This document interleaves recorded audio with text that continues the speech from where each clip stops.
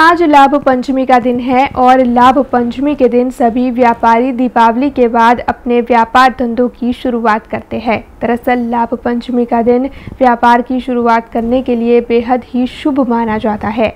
ऐसे में आज लाभ पंचमी के दिन राजकोट के नवा यार्ड में भी किसानों की मूंगफली के सौदे हुए। किसानों को आज के दिन हुए मूंगफली के सौदों में 850 से 1050 तक के दाम भी हासिल हुए।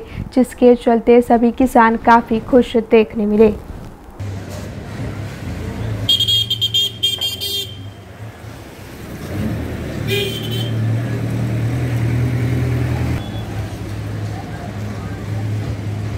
अब खबरों से लगातार अपडेट रहना हुआ आसान।